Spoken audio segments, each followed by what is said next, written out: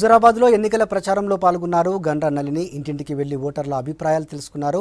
బీజేపీకి ఓటు వేయాలని కోరారు. ఈటెల రాజేందర్తోనే హుజరాబాద్ అభివృద్ధి జరుగుతుందని తెలిపారు. నీకేమన్నా లాభం జరిగిందా ఇతని దళిత బంధుతోని? ఏం జరగలేదు. అమౌంట్ క్రెడిట్లోనే ఉంది వస్తే నమ్మకం ఉందా? వస్తే నమ్మకం లేదు. ఇప్పటికి కూడా అది ప్రాసెస్లోనే ఉంది కాబట్టి నమ్మడం కష్టం.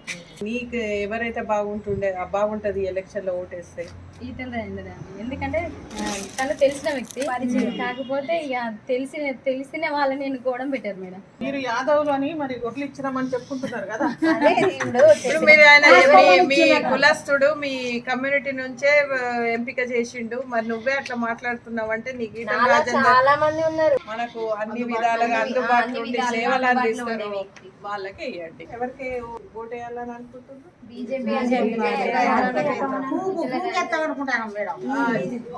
చెప్పండి బీజేపీకే వేద్దాం అనుకుంటున్నాం మేడం. ఈటల సార్ గెలవాలని మా ఆశ.